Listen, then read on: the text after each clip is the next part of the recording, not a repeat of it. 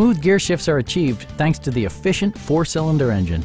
And for added security, dynamic stability control supplements the drivetrain. Both high fuel economy and flexible performance are assured by the six-speed automatic transmission.